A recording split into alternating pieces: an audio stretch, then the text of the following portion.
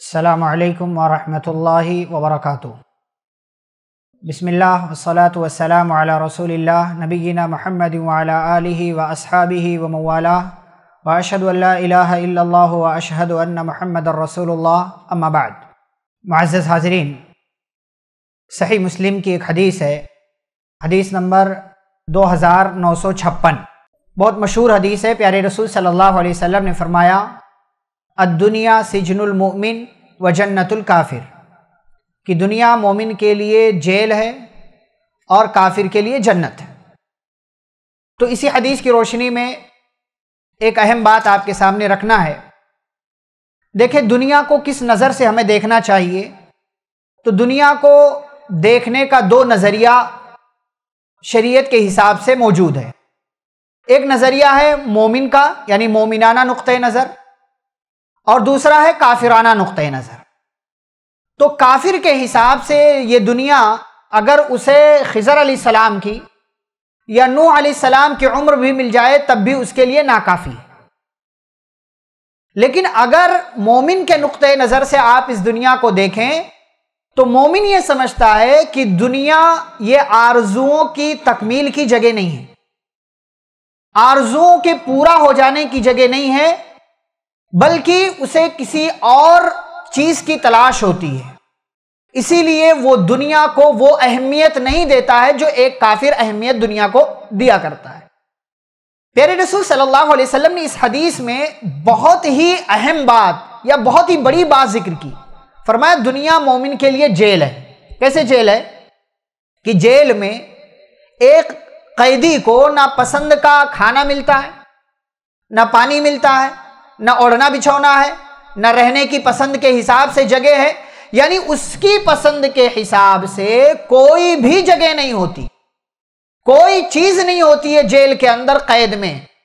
लेकिन उसकी खुशी के लिए सबसे ज़्यादा अच्छा दिन कौन सा होता है? सबसे ज़्यादा खुशी का दिन कौन सा होता है? कैदी के लिए, जेल में रहने वाले के लिए, जिस दिन वो आज़ाद होता है। इसीलिए सूरतुल फज्र की आयत में आयत नंबर 27 से लेकर के आखिर में आप पढ़ें, अल्लाह ने कहा, या अयतुहन मुतमइन्ना मुतमइन्ना इला मर्दिया। अपने रब की तरफ़ लौट जा खुशी खुशी लौट जा, फदखुली फ़ी इबादी, मेरे बंदों में दाखिल हो जा और मेरी बनाई हुई जन्नत के अंदर दाखिल हो जा। तो मोमिन के लिए ये दुनिया कैद है। उसकी पसंद के एतबार से यहाँ कुछ नहीं मिलने वाला। लिहाजा अगर हम मोमिन हैं तो हमें हमारी पसंद के एतबार से दुनिया के अंदर कुछ नहीं मिलेगा। हमारी पसंद के एतबार से दुनिया के अंदर कुछ नहीं मिलेगा।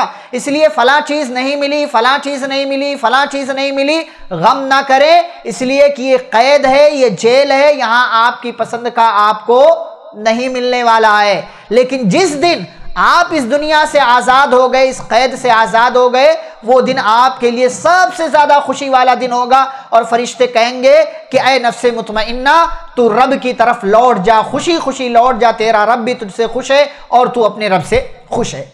जबकि आप काफिर के हिसाब से देखें, काफिर के लिए इस दुनिया को जन्नत कहा गया है। अब जन्नत कहा गया है तो जन्नत में क्या होता है? जो चाहो वो मिलता है। जो चाहो वो मिलेगा। वो हमेशगी वाली जन्नत नहीं, दुनिया के जन्नत इसीलिए कहा गया। जो चाहो वो मिलेगा। और अल्लाह भी काफिर के लिए ऐसे मौके फराहम करता है, ऐसे मौके पैदा करता इसीलिए कहा सूर्य हूद की आयत नंबर पंद्रह में, मन कान युरीदुल हयात दुनिया अमालहुम फीहा वहुम फीहा ला युबखसून।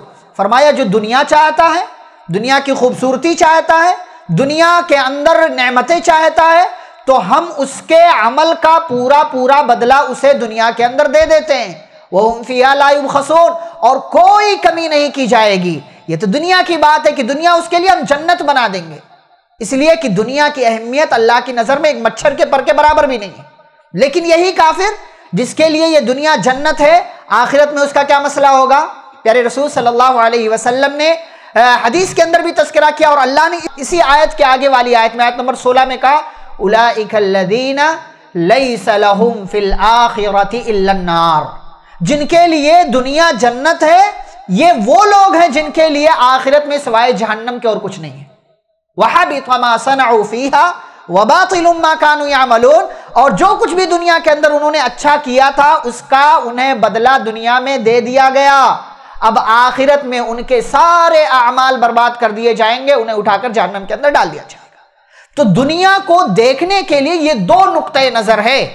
एक मोमिन की निगाह एक काफिर की निगाह। अगर हम मोमिन की निगाह रखते हैं, अगर हम ईमान वाले हैं तो हमें इस दुनिया को कैद, इस दुनिया को जेल समझना होगा।